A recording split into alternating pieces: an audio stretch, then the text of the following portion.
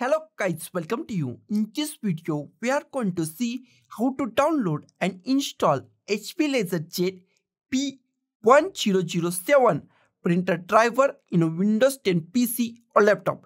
It is a very easy and simple process. So let's go to our video. First, we check our machine is 32-bit or 64-bit. That is very easy. Go to this PC, right click on this PC. Here we find properties, click on the properties. In properties, we find system type. In system type, if you find 32-bit, that means that machine is 32-bit machine. If you find 64-bit, that means that machine is 64-bit machine. This machine is 64-bit operating system machine. Close it. After that, go to the YouTube description. In description, I give the multiple links. First is the Google Drive link. I give the 64-bit and 32-bit link. Second is the Mega. Also, I give 64-bit and 32-bit link. Go to the link that your bit I my bit is 60 my machine bit is 64 bit so I go to the mega 64 bit. You can also go to the Google Drive link also. Click on that link and this link is open in your web browser. Click at here download.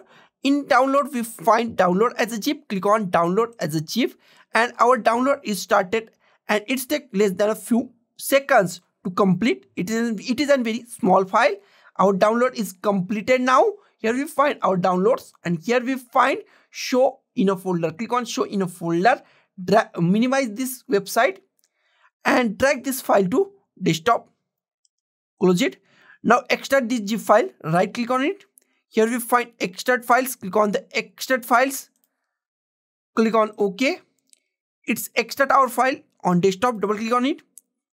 Double click on it. Here is the our driver files and we are going to install it manually. Close it.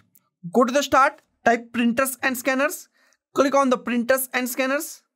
In printers and scanners, here we find add a printer or scanner. Click on add a printer or scanner. In few seconds, new option is pop up on our screen. New option is the printer that I want isn't listed. Click on that. Minimize it. Here we find add a printer and many options. Go to the last option. Add a local printer or network printer with manual settings. Select that. Click on next.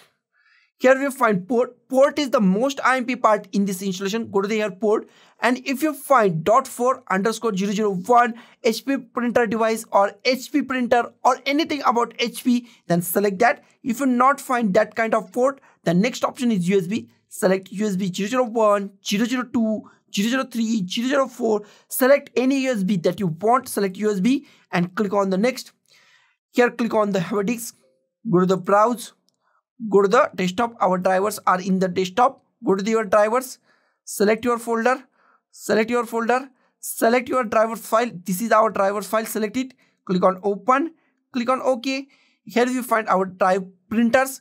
Select our printer hp laserjet p1007 select it click on next. Here is the printer name. You can change printer name if you want to change a printer name. I don't want so i click on the next it's installing our printer. It's take less than a few seconds. Our printer is installed now. If you want to share this printer in the network, then select this. If you don't want, then select do not share this printer. Click on the next. If you want to print a test page, then click on a printer test page or click on the finish. Now we check our printer is properly installed or not. Go to the start and type printers and scanners. Click on the printers and scanners.